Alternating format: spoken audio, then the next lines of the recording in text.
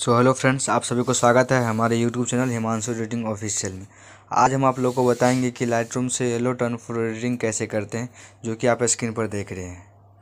तो अगर आप मेरे चैनल पर नए आए होंगे तो चैनल को सब्सक्राइब ज़रूर कर लीजिएगा और साइड में घंटी का बटन है, उसे दबाना ना भूलिएगा। तो चलिए वीडियो को स्टार्ट करते हैं।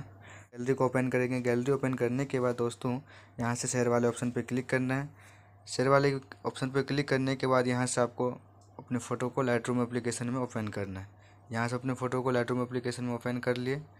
तो फ्रेंड हम अपने लाइट रूम एप्लीकेशन में आ चुके हैं। तो सबसे पहले हमें क्या करना है, यहाँ से लाइट वाले ऑप्शन पे क्लिक करना है। लाइट वाले ऑप्शन पे क्लिक करने के बाद इसके कॉन्ट्रास्ट को क्या करना है, चौदह कर देना है। यानी फोर्टीन कर देना है। हाईलाइट को पूरे कम कर देना है। लगभग सिक्सटी एट्टी सिक्स के करीब शेडो को हल्का इंक्रीज कर देना है। उसके बाद वाइट को माइनस दस कर देना और ब्लैक को भी माइनस दस कर देना। वहाँ से कलर पे आ जाना है। कलर पे आने के बाद दोस्तों इसके वाइब्रेंस को क्या करना है? थर्टीन के थर्टी के करीब रख देना है।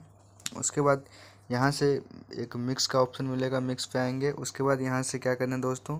ऑरेंज वाले पे क्लिक करेंगे। ऑरेंज वाले पे क्लिक करने के बाद इसके सिचुएशन को माइनस तेईस कर देना है। कितना कर देना है? माइनस तेईस कर देना है। और उसके बाद क्या है? लेमिनेंस को हल्का बढ़ा देना है। लगभग फोर्टी के करीब।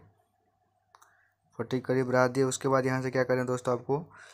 ग्रीन वाले कलर को सिलेक्ट करना है उसके बाद इसके ह्यू को माइनस कर देना। है और सिचुएशन को भी माइनस कर देना है। सिचुएशन को सॉरी प्लस कर देना है। उसके बाद येलो पर आना है, इसको ह्यू को माइनस कर देना है। और सिचुएशन को प्लस कर देना है।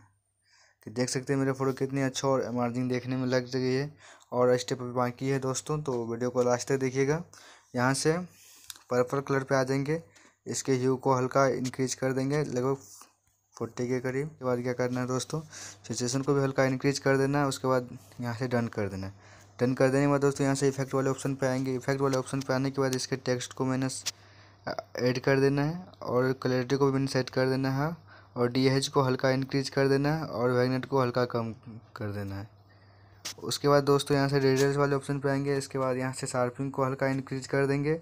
और यहाँ से कलर नो डायरेक्शन मिलेगा, इसको इंक्रीज कर देंगे। और यहाँ से कलर नो डायरेक्शन मिलेगा, इसको यहाँ से इंक्रीज कर देंगे। इसके बाद यहाँ से ऑप्टिक्स में आ जाएँगे। ऑप्टिक्स में आने के बाद इन दोनों आइकन को ऑन कर देना है।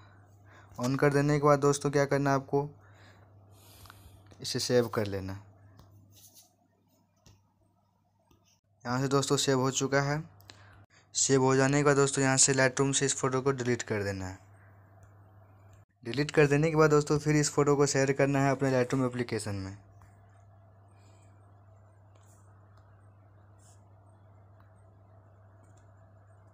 तो दोस्तों देख सकते हैं हम अपने लाइटरूम एप्लीकेशन में इस फ़ोटो को फिर ओपन कर लिए हैं। इसके बाद दोस्तों यहाँ से बैक आ जाना है। आपको यहाँ से एक पी सेट को डाउनलोड करना है जो मैं डिस्क्रिप्शन बॉक्स में दे दूँगा। वहाँ से आप जाके डाउनलोड कर सकते हैं ब्लैक डार्क ब्लैक का। और यहाँ से थ्री डॉट पे क्लिक करना है और यहाँ से कॉपी सेटिंग को क्लिक कर देना है। और यहाँ से ऑल को सिलेक्ट कर देना है और यहाँ से इसे डन कर देना। डन कर देने के बाद ये आपका कॉपी सेटिंग हो चुका है, फिर यहाँ से आपको दोस्तों बैक आ जाना है। बैक आ जाने के बाद फिर दोस्तों इस फ़ोटो को ऐसे क्लिक करना है। क्लिक करने के बाद फिर यहाँ से दोस्तों थ्री डॉट का ऑप्शन मिलेगा।